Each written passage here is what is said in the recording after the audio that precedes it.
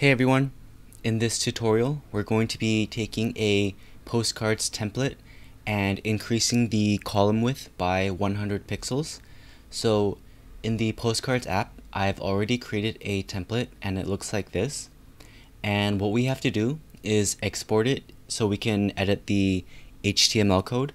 So to do that press the export button in the top right corner, press download as zip and make sure you have the host images online option selected so that you don't have to download and deal with the images yourself. I've already exported my file and I've opened it in a text editor. So this is what we will be working with.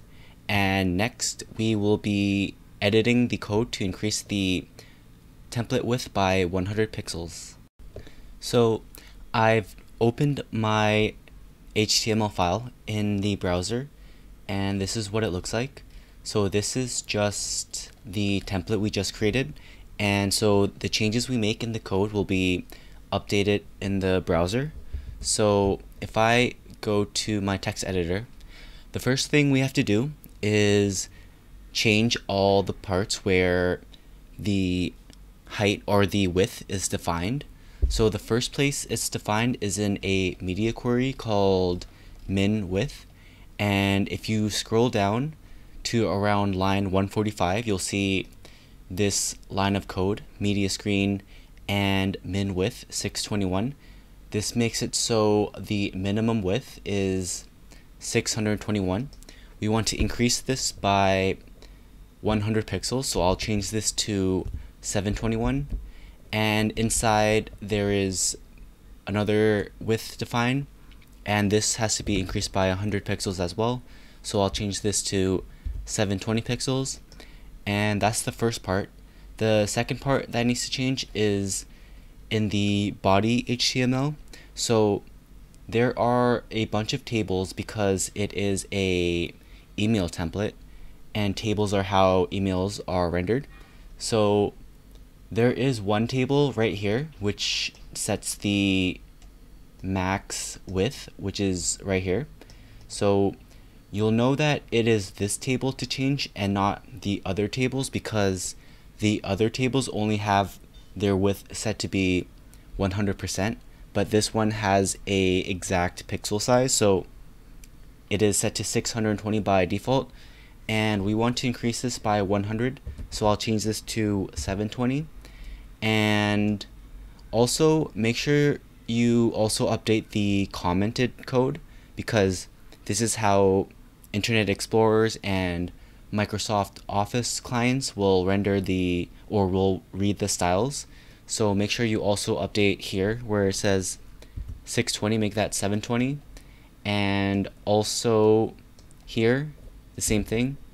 I will save my file and back in the browser, I will refresh it and as you can see the entire width increased by 100 pixels.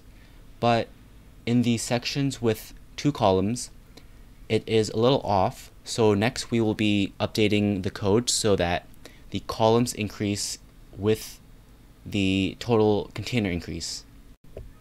So next the section that needs to be updated is the header.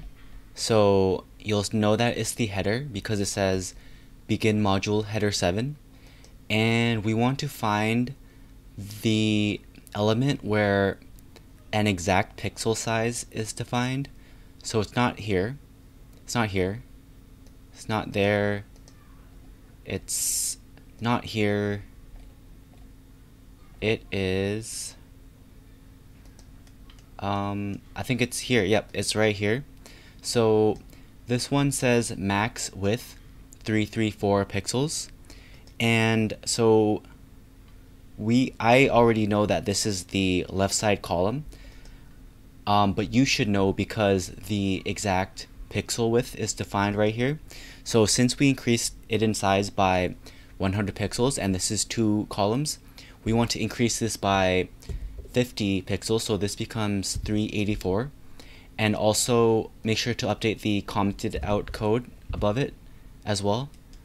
And so that's the first column. And the second column is right here. So this is 214, so this becomes 264, and the same thing with the commented out code. And if I save this, and I go back to my browser and I press refresh, we can see that it has updated in the way that we want it to, but this image can also be updated as well. So to go back to the code, in this image tag right here, we can increase the width and the height values by 50 pixels. So I will change this to 236 and this to 419 I will save it, refresh the browser, and the image has been increased in size by 50 pixels as well. So next, all that's left is the footer area. So back in the code, I will scroll until I find where it says footer. This is the call to action footer. So this is where the footer starts and we will do the same thing as we did just before. We will find that the max width is defined right here. So this becomes 330 because we have to increase it by 50 pixels. And so this is the first column and the second column is right here. Also, make sure you update the commented out code. So change it like that. And this is the second column, so we want to repeat the same thing. Turn this into 330. I will save it. I will refresh the page. And there we go. We've successfully updated the columns by 50 pixels to match the total template increase of 100 pixels. And this is how to increase your template by 100 pixels. Just apply the same type of steps to whatever size you want to increase it by, 200 pixels or 300, whatever, and divide the columns by how much you have to increase it by.